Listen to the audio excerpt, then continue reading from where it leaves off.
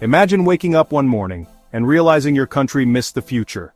But in China, that future is already here, silently gliding past in green plates and zero emissions. Once Guangzhou was the heart of China's smoky industrial belt. Today, the streets hum gently with electric vehicles. Green license plates now outnumber the blue. Scooters, cars, even taxis, all electric.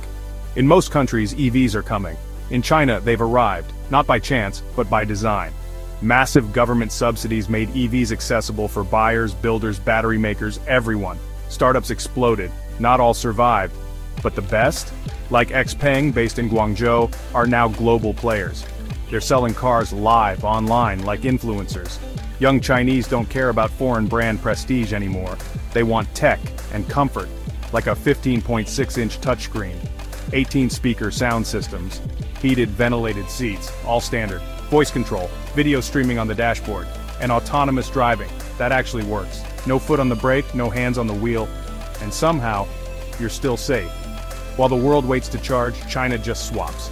In under 4 minutes, drive in, steer-by-wire reverses you in, a robotic arm removes your battery and inserts a fresh one.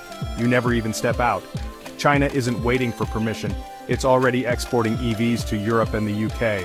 And while others debate, China builds. Today, EVs are a race. But for China, it's already won.